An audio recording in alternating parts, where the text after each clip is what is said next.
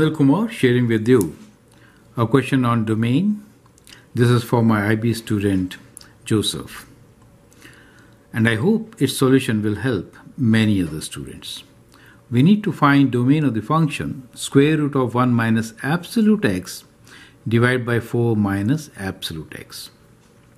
You can always pause the video and answer the question. Here is my solution. Let's first define what is absolute x. Absolute x is equal to x when x is greater than equal to 0 and it's negative x when x is less than 0. That clearly indicates that we have to solve this within two different domains, right?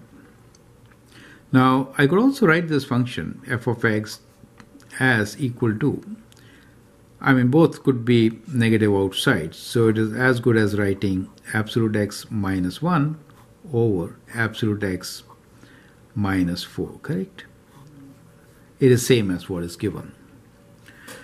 Now, let us uh, divide this page into two parts and solve the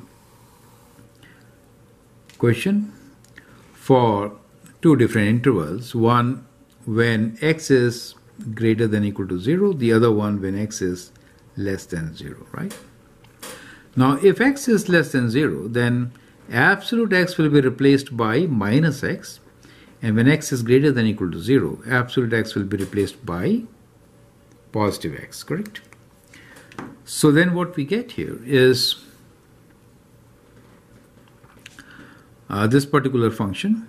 But see when we're talking about domain we also want that within the square root everything is non-negative. That is to say, we want absolute value of x minus 1 over absolute value of x minus 4 should be greater than or even equal to 0.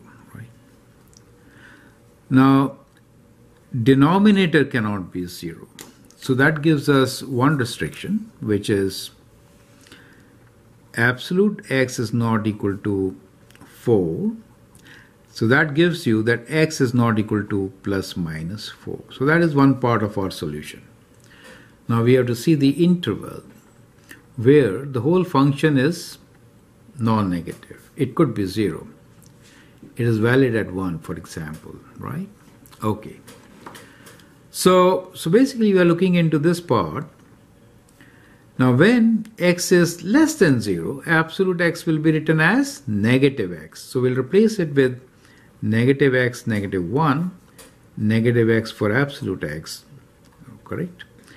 And the inequality, we want to show that this should be greater than equal to 0.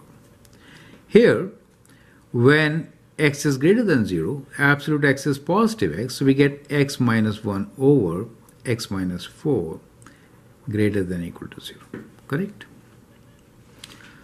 Now, when is this greater than equal to 0? We could take minus common. Let me rewrite this as x plus 1 over x plus 4 greater than equal to 0. This is better.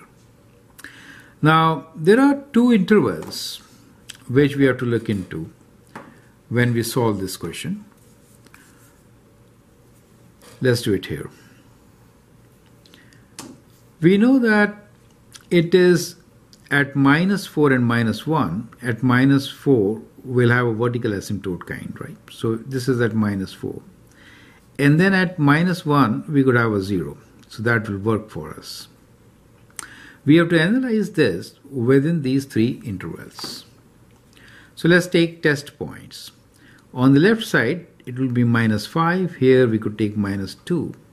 And we can take uh, let's say minus half here 0.5 if I substitute minus 5 here both become negative and what we get here is that it is actually positive right? So if I do minus 5 we get minus 4 over minus 1 so this is positive here. If I substitute minus 2 numerator is negative however denominator is positive. That gives me negative result. And for minus half both are positive. So this inequality greater than works in these intervals, which is x could be less than minus 4 or x could be greater than minus 1, right? Greater than equal to. Remember, x is within this. So, since we have this condition here, we should rewrite this as x is less than minus 4, that's perfect, but x is greater than equal to minus 1 but less than 0, correct? Since that is the interval in which we are working. So that becomes the solution from the left side. Now let's do the right side. Here we could have zeros or undefined at 4, 0 at uh, 1, right? Undefined at 4. So I'm putting this not filled in circle. So again, taking test points, we could take 0 in this case since it is greater than equal to. Right? The interval was less than 0 there. Now in this case, the value here could be taken as 2, this is 5. If I substitute 0, we get positive. If I substitute 2, we get negative. For 5, we get positive. Greater than means we are looking into these two solutions. Perfect. So that means x is greater than, so greater than equal to 0, that's the interval, correct?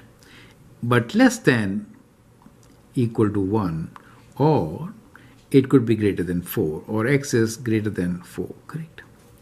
Now the idea is to combine both these solutions combine both these solutions. So we get the answer as x is less than minus 4. It could be within minus 1 and minus plus 1. So minus 1 to plus 1 or greater than 4. It cannot be 4 plus minus since that will make the denominators 0 Correct? So we get our solution, which is in three parts written right there. That's how you can actually solve this inequality. I hope the steps are absolutely clear. Feel free to write your comments and share your views. If you like and subscribe to my video, that'll be great. Thanks for watching and all the best.